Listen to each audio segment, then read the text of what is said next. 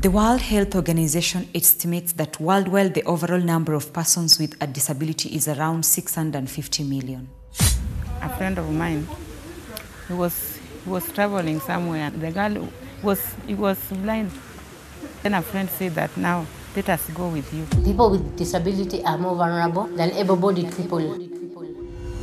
You know, the lady didn't have a job, and he was told that there is a job he can be offered. And then the man said, if the lady agree that they are friends, he will offer a job. And the girl didn't have any income. 80% of disabled people living in developing countries and are younger than 45 years of age. Then the man decided to to go with the with the girl, and that was because of the situation the girl was in. Instead of taking her where she's supposed to be taken, he will take her to dark corners and rape her. When the girl was tested, it was HIV. And that is when the worst was revealed to me that I was HIV positive.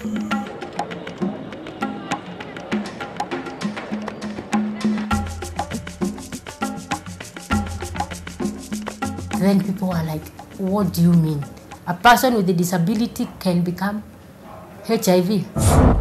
And now the population in Vietnam is nearly 87 million, and among of that, the, the 12 million people with disability living in Vietnam.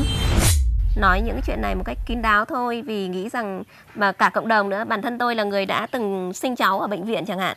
Khi tôi đến bệnh viện thì tất cả mọi người kêu rời kêu đất lên bảo là úi giời người như này còn đẻ làm cái gì nữa? Cho nên cái này làm cho chúng tôi rất là tự ti và mặc cảm.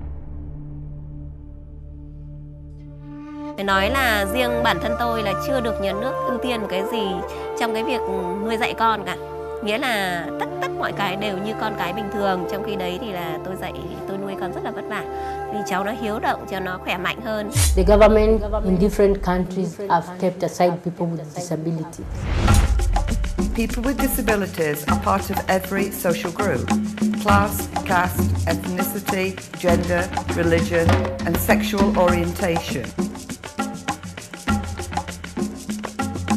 Now we educate uh, people around with disabilities um, on various issues concerning life.